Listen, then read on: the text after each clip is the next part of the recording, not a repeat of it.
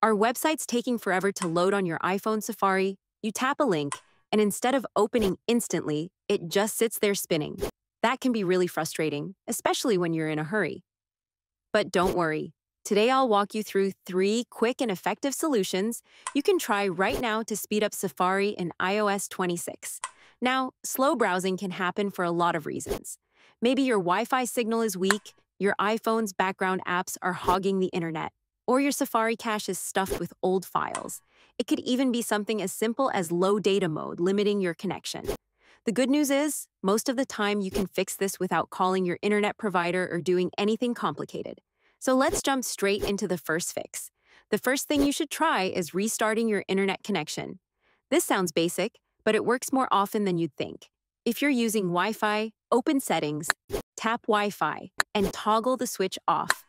Wait at least 5 to 10 seconds before turning it back on again. This quick refresh clears temporary glitches in your connection. If you're browsing on mobile data, you can do the same. Go to Settings, tap Cellular, and toggle cellular data off, then back on after a few seconds. This forces your phone to reconnect to the nearest cell tower and often improves loading speeds right away. You can also try the airplane mode trick. To do this, open Settings, tap Airplane Mode, turn it on for about 10 seconds, then turn it off again. This completely resets your wireless connections, which is like giving your iPhone's network a fresh start. Many users also find this instantly improves Safari speeds. But if the pages are still dragging, let's move to solution number two. Another effective fix is clearing Safari's cache and browsing data. Over time, Safari saves tons of temporary files, cookies, cached images, old website data, at first, these files help pages load faster, but when they pile up or get corrupted, they actually do the opposite and slow everything down. Here's how you can clear them in iOS 26. Open Settings, scroll down and tap Apps. Scroll down and tap Safari. Scroll until you see Clear History and Website Data and tap it. Set the Clear History timeframe, then confirm by tapping Clear History when prompted. That alone deletes a lot of old junk. But for a deeper cleanup, scroll further down tap Advanced, then select Website Data. Give it a few seconds to load, and then tap Remove all website data. Review the warning prompt, then tap Remove Now to confirm. This wipes every leftover file that could be clogging Safari. When you go back to browsing, sites will load the latest versions instead of pulling outdated info.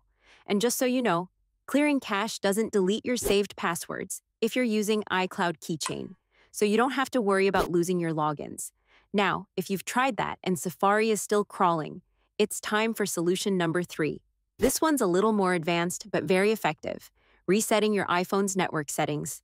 Sometimes misconfigured Wi Fi setups, old VPN data, or corrupted network files can mess with browsing speed. Resetting wipes those out and restores everything to factory defaults. To do this, open Settings, tap General, then scroll down to Transfer or Reset iPhone. Tap Reset and from the list, choose Reset Network Settings. Enter your passcode, tap Reset Network Settings to confirm, and your iPhone will reboot. After the reset, you'll need to re enter your Wi Fi passwords, so make sure you have them handy.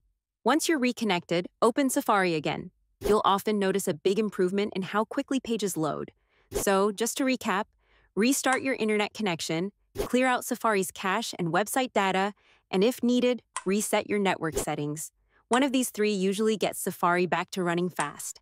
Taking a few minutes to fix it now can save you from even bigger headaches later. And that's all there is to this quick guide. If this video helped you speed up Safari on your iPhone, please give it a like, or check out my other tutorials to master more iOS 26 tips and tricks. Thanks for watching!